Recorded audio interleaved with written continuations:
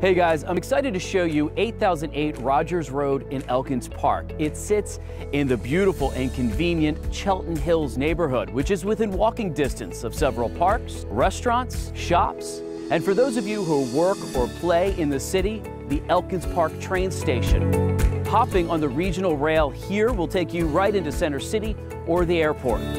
So behind me, we have the three bedroom, two and a half bath Center Hall Colonial. Let's go check it out. When entering through the front door, you step into the foyer. You'll notice there are original hardwood floors throughout. To the left, there's a spacious and welcoming living room with stone fireplace. Light streams in through the new bay windows, making the room bright and cheery.